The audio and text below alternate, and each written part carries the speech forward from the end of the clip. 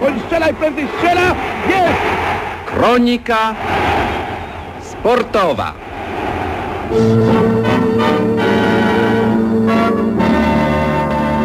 Dziś w programie obiecujący występ Piotra Habdasa w Mistrzostwach Świata w narciarstwie alpejskim. Udało się fajnie zjechać. Trasa wymagająca, więc tym bardziej się cieszę z mojego rezultatu. Polscy sprinterzy tuż za podium Pucharu Świata w łyżwiarstwie szybkim. Raz się wygrywa i robi rekordy polskie, raz jest na czwartym miejscu. A piłkarze Lecha Poznań wrócili z Norwegii po meczu z Bodo Glimt. Przed robotą powiedziałbym, że 0-0 biorę w ciemno, po robocie lekki niedosyt.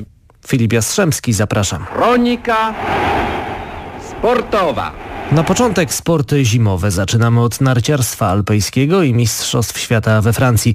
W slalomie gigancie nieźle zaprezentował się Piotr Habdas, ale o wszystkim opowie Państwu Sylwia Urban. Marco Odermatt wygrał gigant alpejskich Mistrzostw Świata w Courchevel Meribel. Szwajcar o 32 setne sekundy wyprzedził swojego rodaka Loika Mejarda i o 40 setnych prowadzącego po pierwszym przejeździe Austriaka Marco Schwarza. Z dobrej strony zaprezentował się Piotr Habdas, który nie specjalizuje się w gigancie tylko w slalomie, ale korzystając z tego, że jest na Mistrzostwach Świata, postanowił pojechać także gigant.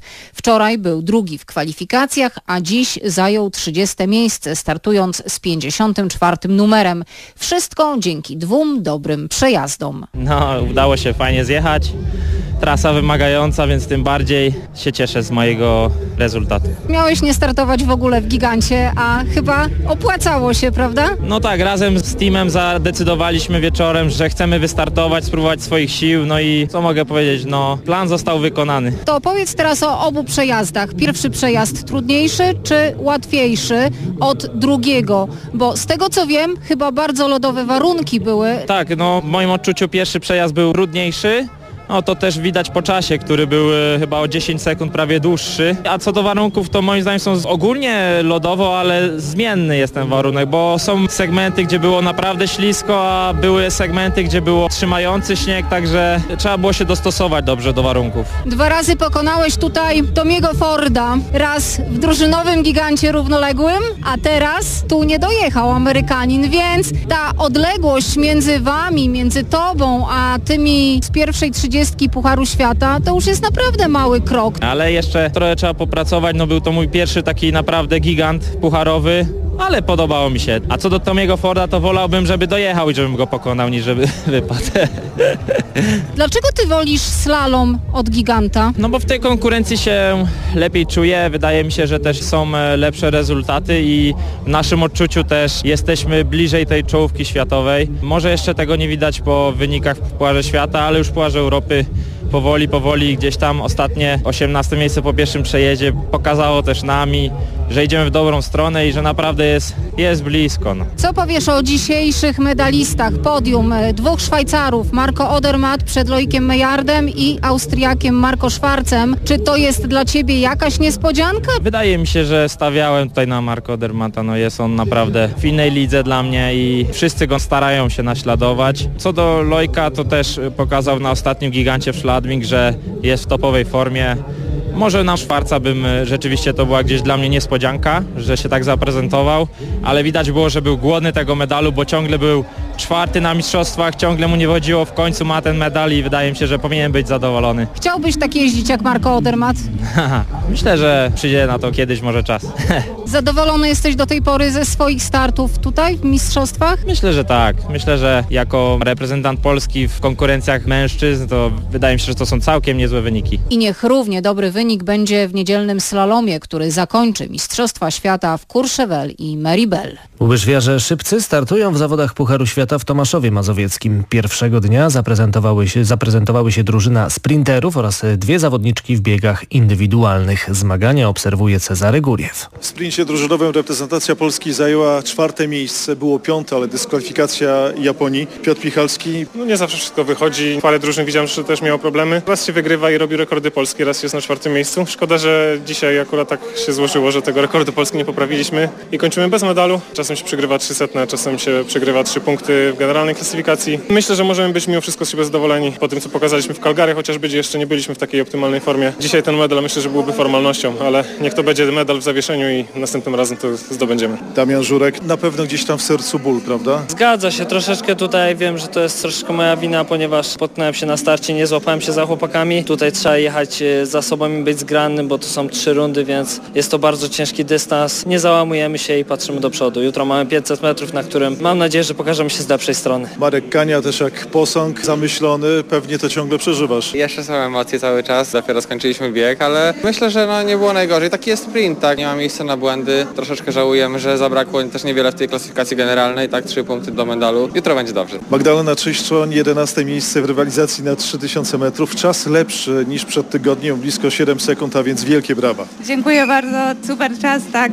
11 miejsce. Też fajnie, liczyłam na pierwszą dziesiątkę w generalce Pucharu Świata, jednak zabrakło myślę, że niewiele punktów do dziewczyny z Kazachstanu, a jakieś tam moje cele były na pierwszą szesnastkę, w końcu na 11 miejscu, więc cieszę się. Drugi tydzień jest rzędu Puchar Świata i to jest piękne. Tak i bardzo się cieszę, że na przykład dzisiaj przyjechała moja przyjaciółka z Zakopanego, gdzieś tam większy doping miałam. To się docenia i łezka wokół się też kręci, bo że ktoś zawsze jest i, i kibicuje. Dla przyjaciółki nie będzie zbyt dużo czasu, bo jutro i w niedzielę masz kolejne starty. Tak, ale jutro będę miała trochę więcej czasu po starcie 1500 metrów, bo startuję w grupie B. No ale taktykę na wyścig masowy trzeba tutaj jakoś opracować. Bo muszę Então, sou tia Próbowałeś przed tygodniem i niewiele brakowało. Tak, ale gdzieś tam może ja się troszkę przeliczyłam, bo to były trzy kółka do końca i gdzieś tam brakło, ale chciałam pokazać się z jak najlepszej strony i zawsze próbuję to robić, ale myślę, że nie wyszło najgorzej. Karolina Bosiek zajęła 15 miejsce w rywalizacji na 500 metrów. Na pewno jestem zadowolona z tego startu. Pojawiło się troszeczkę błędów technicznych, ale mimo wszystko to jest najszybszy czas, jaki przyjechałam w arenie. Nie spodziewałam się takiego biegu, więc myślę, że to wszystko na plus. Jak wiemy, jesteś bardzo pracowita. Jutro występ na dystansie 1500 metrów, także sprint drużynowy. W niedzielę dystans 1000 metrów. A który dystans staje się Twoim ulubionym? Na pewno 1000 metrów. Dziś już po prostu nawet w głębi serca czuję te dystanse, czuję też mobilizację większą na tych konkretnych dystansach, więc myślę, że w kolejnym sezonie to już będzie taki odpowiedni czas, żeby konkretnie skupić się na, na tych dystansach, aby ścigać się z tymi najlepszymi na świecie, a nie startować wszystko i no niestety nie da się po prostu być najlepszym na wszystko, więc czas postawić na konkretne dystanse. I Karolina, trzeba przyznać, wspaniała tutaj jest publiczność. To jest coś niesamowitego. Dzisiaj na tym otwarciu niesamowite emocje. Kibice tutaj oczekujemy właśnie tego wsparcia od kibiców. Niemiec Andreas Wellinger wygrał prolog do konkursu Pucharu Świata w skokach narciarskich w Rasnowie. Najlepszy z Polaków Kasper Juroszek zajął 15 miejsce. Do Rasnowa nie przyjechała większość zawodników z czołówki. Polscy skoczkowie z kadry A zostali w kraju, by przygotować się do rozpoczynających się w środę Mistrzostw Świata w Planicy. Kronika sportowa. Iga Świątek awansowała do finału turnieju tenisistek w stolicy Kataru, Dausze. Broniąca tytułu Polka w niecałą godzinę wygrała z Rosjanką Weroniką Kudermietową, tracąc zaledwie jednego gema. W finale liderka światowego rankingu zmierzy się z Amerykanką Jessicą Pegulą, która pokonała Greczynkę Marię Sakari. Ten mecz jutro o 16. Teraz już piłka nożna. Zanim przejdziemy do dzisiejszych meczów Ekstraklasy, wrócimy do wczorajszego spotkania Lecha Poznań w barażu o 1-8 finału konferencji League. Mistrz Polski osiągnął w Norwegii niezły wynik, remisując bezbramkowo z Bodo Glimt i może z nadzieją czekać na rewanżowy mecz w Poznaniu.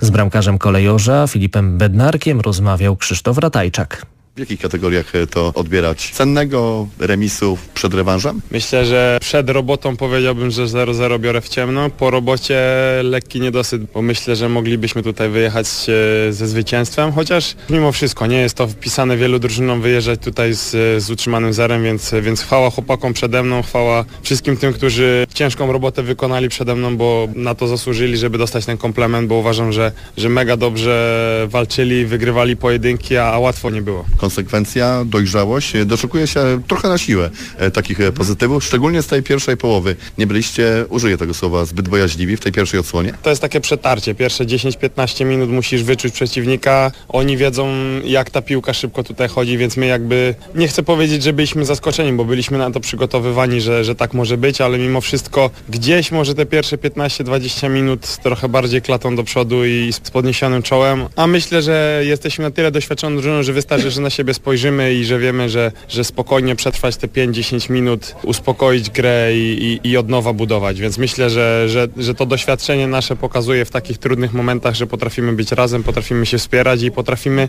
przeżyć takie trudne momenty. To jeszcze zapytam o troszeczkę mityczną, także w oczach kibiców, sztuczną murawę stadionu w Wodu z perspektywy bramkarza pomeczowych 90 mhm. minutach, bo to jest dopiero prawdziwy wyznacznik. Wiadomo, przed meczem rozmyślam i, i gdzieś, gdzieś zawsze ten temat sztucznej trawy się pojawi, że musisz brać poprawkę na niektóre rzeczy, ale w trakcie meczu myślę, że jak wpada się w taki stan flow, e, to się w ogóle o tym nie myśli, chociaż jak widać było zawodnikom z pola bardziej to przeszkadzało pewnie niż mi. Mi, mi gdzieś ta piłka jakby jest bardziej przewidywalna, wiem jak skoczy, wiem jak e, zrobi kozioł, a, a u chłopaków mimo wszystko gdzieś ta piłka może się trochę prześlizgnąć i, i, i czasami było widać na boisku, że, że ta gra była dużo szybsza i oni są bardziej z tym obyci. Ważny ligowy przystanek w najbliższą niedzielę w Poznaniu, mecz z Zagłębiem Lubin, ale przeskoczę do przyszłego czwartku, 23 dzień lutego, no i to rewanżowe spotkanie. O to, żeby być wiosną dalej, żeby wreszcie przeskoczyć tę barierę wiosennej niemożności wygrania dwumeczu. Da się to zrobić? Filip Bednarek, jak sądzi? Myślę, że tak. Myślę, że... A jak? Po entuzjazmach w drużynie, myślę, że ciężką pracą, walką i, i wiarą w nasze możliwości, bo gdy zagramy trochę bardziej do przodu, gdy zagramy trochę bardziej z brawurą i, i zagramy o swoje, to potrafimy z niejedną drużyną powalczyć i, i, tak jak wygraliśmy z Villarrealem, gdzie ten mecz musieliśmy wygrać, tak myślę, że, że z Bodo tak samo rzuci jak, jak Villarreal damy sobie radę. Czyli brawurowy przy bułgarskiej za tydzień Lech zgasi żółtą błyskawicę z Bodo. Miejmy nadzieję. Rewanżowe spotkanie Lech Poznań-Bodo Glimt w przyszły czwartek. Zwycięzca dwumeczu awansuje do 1-8 finału Conference League. 21. kolejka piłkarskiej Ekstraklasy rozpoczęła się w Krakowie, gdzie spotkały się drużyny z górnej części tabeli. Krakowia okazała się lepsza od Stali Mielec, o czym informuje Marek Solecki. Ciekawy, szybki mecz w Krakowie pomiędzy zespołem Pasów a Mielecką Stalą. Obydwa zespoły udowodniły, że nie przypadkiem znajdują się w górnej połówce ligowej tabeli i raczej śmiało spoglądają w górę. Już w pierwszych 10 minutach kilka znakomitych szans Krakowi. Kolman strzelający po przekątnej pola karnego w długi róg, ale o centymetry obok słupka. Chwilę później niemal w lustrzanym odbiciu uderzenie Rakoczego, tym razem nie z prawej, a z lewej strony i znów piłka mijająca minimalnie słupek. W 17 minucie pierwsza z groźnych kontr wyprowadzonych przez Mielczan. Piłka za plecy obrońców Krakowi. Skoczył do niej Gettinger, ale wybiegł poza linię pola karnego Niemczycki i trochę w stylu kung fu wybił piłkę, ale też trafił w przeciwnika. Skończyło się rzutem wolnym, niewykorzystanym przez Mielczan i żółtą kartką dla bramkarza pasów. W 37 minucie po kolejnej groźnej kontrze po dwójkowej akcji Maka z Hinokio padła pierwsza bramka dla Mielczan, a drugą połowę Krakowia zaczęła z olbrzymim impetem i z kilkoma zmianami w składzie. Pierwszy strzał w pierwszych sekundach drugiej drugiej części Rakoczego jeszcze zablokowany, ale chwilę później akcja tych, którzy dopiero weszli na boisko. Konoplianka przerzucił piłkę z lewej strony na prawą, a tam strzałem z bliska Kakabadze pokonał bramkarza Mielczan. Krakowia miała kolejne szanse. Strzały Makucha, uderzenie Bochnaka, nic jednak gola Krakowi nie przynosiło. Do 85 minuty, kiedy to Makuch wykorzystał centrę z prawej strony, wyprzedził dwójkę obrońców mieleckiej stali i z bliska wbił piłkę do bramki. Krakowia wygrała 2 do 1 jednego, a trener Jacek Zieliński cieszył się nie tylko z punktów. Dużo radość szatni dzisiaj po meczu była, bo Zawsze po zwycięstwie są fajne nastroje, natomiast to zwycięstwo dzisiaj smakowało nam jeszcze bardziej, bo pierwszy raz w mojej pracy z Krakowią, tej drugiej pracy, czyli od listopada 2021 roku, udało nam się po straconej bramce wyjść na prowadzenie i, i zakończyć mecz zwycięstwo. Także oczywiście ktoś powie, że to mała rzecz, ale dla nas to jest, to jest duża rzecz, cieszy, tym bardziej, że uważam, że zagraliśmy bardzo dobry mecz, mimo tego, że, że nie zawsze nam się układało tak jak chcieliśmy. Powiedziałem chłopakom zresztą w szatni, że uważam, że piłkarsko zagraliśmy lepszy mecz niż na Legii. Trener Mielczan Adam Majewski był rozczarowany wynikiem. Cel twój osiągnęliśmy, czyli strzeliśmy bramkę z kontrataku i wydawało się, że mamy już zespół Krakowi na patelni. Schodzimy z prowadzeniem 1 do 0. Niestety, to co wypracowaliśmy w 45 minut, tak naprawdę straciliśmy w przeciągu, nie wiem, dwóch, dwóch trzech minut drugiej połowy. Bramkę, którą straciliśmy, tak, to jest bramka na poziomie, że tak powiem, juniorskim, przeciągnięte dośrodkowanie, odpuszczone krycie, dlatego bardzo, bardzo prosta bramka i to napędziło Krakowie, a tak naprawdę to my ją napędziliśmy swoją postawą. W drugim dzisiejszym spotkaniu łódzki Widzew wygrał ze Śląskiem Wrocław 1 do 0 po golu w ostatnich sekundach. Relacja Dariusza Apostolskiego. W pierwszej połowie Widzew był częściej przy piłce i nawet w siódmej minucie po centrze jednego z piłkarzy tego klubu piłka trafiła w słupek. W dziesiątej minucie silny strzał Hanuszka pewnie obronił Leszczyński. Bramkarz gości uratował swój zespół w 20 minucie, kiedy świetnie obronił w sytuacji sam na sam z Sanchezem. W ostatniej minucie pierwszej połowy błąd bramkarza Widzewa Rawasa omal nie skończył się golem dla Śląska, ale Powracający Mateusz Żyro wybił w ostatniej chwili piłkę z linii bramkowej. Do przerwy więc było 0 do 0, a po przerwie cztery sytuacje stworzyli widzewiacy. Niestety źle mieli ustawione celowniki. Letniowski nad bramką, Pawłowski w 73 z woleja obok, ponownie Pawłowski w 79 także obok.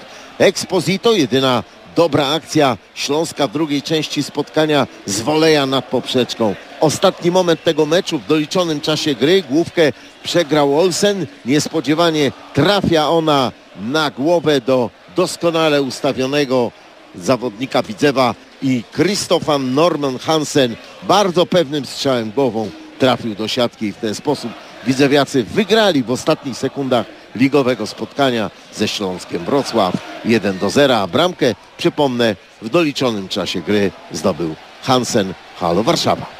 Na jutro zaplanowano trzy spotkania. Korony Kielce z Lechią Gdańsk, Krakowa Częstochowa z Górnikiem Zabrze oraz Pogoni Szczecin z Wartą Poznań. W piłkarskiej pierwszej lidze ważny mecz drużyn walczących o awans do Ekstraklasy. Tak jak w Łodzi, również w Niepołomicach decydujący gol padł tuż przed końcem. Ruch Chorzów wygrał z miejscową Puszczą 1 do 0 po bramce Łukasza Janoszki. Liderem na zapleczu Ekstraklasy jest łódzki klub sportowy. Ruch pozostał na drugiej pozycji, ale zwiększył przewagę nad trzecią Puszczą. Dwie najlepsze drużyny uzyskają bezpośredni awans do Ekstraklasy, a kolejne cztery zagrają w barażach. Koszykarze Stali Ostrów Wielkopolski nie obronią Pucharu Polski. W ćwierćfinale turnieju w Lublinie Ostrowianie przegrali z Anwilem Włocławek 80 do 89. W półfinale Anwil zmierzy się z Treflem Sopot, który wygrał ze Śląskiem Wrocław. W drugiej parze zagrają Spójnia Stargard i Start Lublin. Półfinałowe mecze jutro, a finał w niedzielę. W hokejowej Ekstralidze na pozycji lidera umocniła się Krakowia, która pokonała STS Sanok 6 do 5. W pozostałych spotkaniach Unia Oświęcim wygrała po dogrywce z Energią Toruń 4 do 3. GKS Katowice zwyciężył po dogrywce także Zagłębie Sosnowiec 3 do 2, a GKS Tychy uległ JKH GKS-owi Jastrzębie 3 do 4. Prowadząca w tabeli Krakowia ma 4 punkty przewagi nad Unią. Jutro i pojutrze polscy lekkoatleci będą startować w Mistrzostwach Polski. Zawody w Toruniu zapowiadają się ciekawie i będą niezwykle ważne dla niektórych zawodników, o czym opowie Rafał Bała. Halowe imprezy często traktowane są przez lekkoatletów po macoszemu, jako przerywnik w treningach przygotowawczych do sezonu letniego. Od kilkunastu lat trochę się w tej materii zmieniło, bo za medale Mistrzostw Świata i zwycięstwa w cyklach prestiżowych meetingów można zarobić dziesiątki tysięcy dolarów. Ale żeby zakwalifikować się do mistrzostw, trzeba najpierw wypełnić normy i dobrze wypaść w krajowym czempionacie. To wymóg stawiany przez Polski Związek Lekkiej Atletyki. Między innymi dlatego weekendowe zawody w Toruniu zapowiadają się ciekawie. Ostatnią szansę na kwalifikację na halowe mistrzostwa Mistrzostwa Europy ma medalista olimpijski w biegu na 800 metrów z Tokio, Patryk Dobek. Co prawda normę wynikową wypełnił już w zeszłym roku, ale ostatnio daleko mu do optymalnej formy. Od czego zależy jego wyjazd do Stambułu? Wydaje mi się, że od Mistrzostw Polski, od tego czy zajmę pierwsze miejsce, pokażę po prostu, bo wydaje mi się, że Mateusz Borkowski jest w miarę dobrej dyspozycji i wydaje mi się, że tu będzie sztuka, żeby po prostu zwyciężyć i to mi daje trenerowi odpowiedź, czy rzeczywiście jesteśmy gotowi na to. Żeby oczywiście przejść e, idealnie rundy i walczyć o medal. Przypomnijmy, że Dobek to jedyny polski mistrz Europy z 2021 roku właśnie z toruńskiej hali. Jest ona szczęśliwa nie tylko dla niego, ale też na przykład dla Ewy Swobody. To właśnie tam nasza sprinterka 7 lat temu ustanawiała rekord świata juniorek w biegu na 60 metrów, a przed rokiem jako pierwsza Polka złamała barierę 7 sekund. Nic więc dziwnego, że zachwala tamtejszą bieżnię. Zapraszam wszystkich na bardzo szybką bieżnię, wspaniałą publiczność i dobre toruńskie jedzenie w filmarze. No i dobre zaplecze tu jest, jest się gdzie rozgrzewać, bo jak jeżdżę teraz po tych halach i oglądam jak to wszystko wygląda od wewnątrz, Myślę, że tu jest miejsce, tu jest fajnie, wszystko jest super. To, że sprinty będą jutro i pojutrze bardzo szybkie, wydaje się oczywiste. Podobnie z płotkami, bo aż trzej Polacy mają kwalifikacje na Stambuł, a najszybszy z nich jest 20-letni Jakub Szymański. Dużą stratą jest nieobecność Pii Skrzyszowskiej, która jest w tym sezonie jednym z najjaśniejszych punktów reprezentacji Polski. Niestety doznała kontuzji uda i przez kilka tygodni musi na siebie uważać. Za to specjalistki od 400 metrów są zdrowe i gotowe na wielkie wyniki, co w środę udowodniła w Liewę Natalia Kaczmarek. Wicemistrzyni Europy ustanowiła wspaniały rekord kraju 50,9 sekundy. Na pewno naciskać będą na nią Anna Kiełbasińska i Justyna Święter-Setic. Trener Kaczmarek Marek Rożej nie wyklucza kolejnego rekordu w Toruniu. Zależy jak się bieg ułoży. No, na Mistrzostwach Polski to przede wszystkim będzie bieg, żeby zdobyć y, upragniony tytuł na hali, bo jeszcze takiego nie ma. Na stadionie ma dwa na halinie. Zrewanżować się koleżanką za zeszły rok, bo, bo była trzecia. Mam nadzieję, że się zregeneruje, przyleci do Torunia i będzie walczyć. Jak będzie wypoczęta, jak będzie wszystko ok ze zdrowiem, no to na pewno podejmiemy próbę jeszcze poprawienia tego wyniku. W Toruniu coś do udowodnienia będą mieli też nasi kulomioci, tyczkarze i skoczkowie wzwyż. To gwarantuje emocje i wyniki co najmniej na europejskim poziomie. I takich naszym lekkoatletom życzymy. W dzisiejszej kronice to już wszystko. Jutro o sporcie będziemy mówić od szóstej. Kronika sportowa.